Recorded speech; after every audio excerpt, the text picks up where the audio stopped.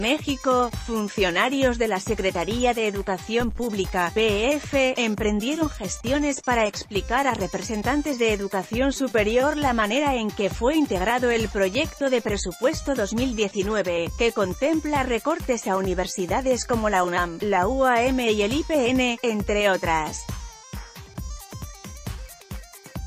Luciano Conchiro, subsecretario de Educación Superior de la SEP, aseguró que esta tarde se reunirá con Jaime Valls, presidente de la Asociación Nacional de Universidades e Instituciones de Educación Superior, ANUIES, para hablar sobre el presupuesto de las casas de estudio y analizar el presupuesto en su conjunto.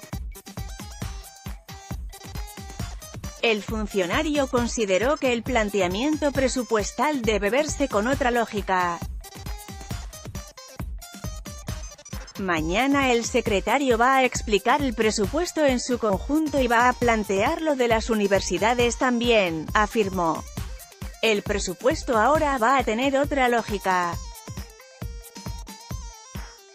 Viene el planteamiento central y después van a venir resarcimientos al presupuesto, explicó. Conchiro mencionó que el mensaje para las universidades es que el presupuesto en su conjunto las apoyará con becas, fortalecimiento y formación. En esta nota, presupuesto a MLOC PUNAM y PN.